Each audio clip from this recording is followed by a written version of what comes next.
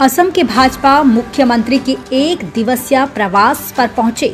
मुख्यमंत्री छत्तीसगढ़ के कांग्रेस सरकार पर जमकर निशाना साधा।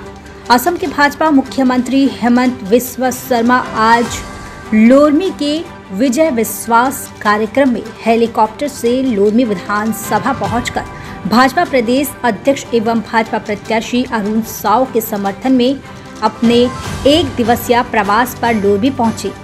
जहाँ सभा को संबोधित करते हुए असम के मुख्यमंत्री हेमंत बिस्व शर्मा ने आम सभा को संबोधित करते हुए प्रदेश सरकार पर जमकर निशाना साधते हुए कहा कि प्रदेश में भाजपा का बहुत बढ़िया माहौल है और इस बार बदलाव निश्चित है।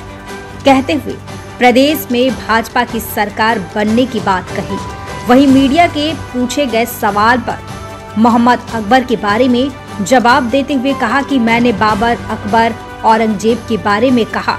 वही अन्य सवालों के जवाबों में क्या कुछ कहा? देखिए ये रिपोर्ट। अदा करना छत्तीसगढ़ के लोगों को थोड़ा सा सतर्क कर देना मेरा ज़िम्मेदारी होता है।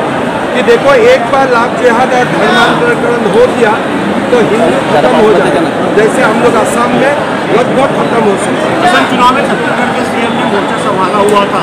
तो क्या आप अब ये देखा जा रहा है कि असम के सीएम ने छत्तीसगढ़ में मोर्चा संभाले हुए हैं?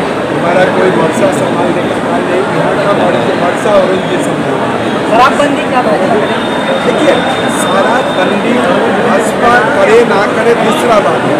लेकिन चुनाव में गलत वादा मत करो। लोगों को गुमराह मत अगर करना है बोलो करेगा नहीं करना है बोलो नहीं करेगा। लेकिन करेगा बोल के फिर फिर दारू का ही सरदार बन जाना।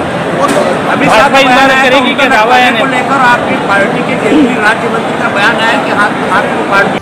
मुंगेली से प्रीतम दिवाकर की रिपोर्ट पर देखते रहिए सी जी विजन टीवी।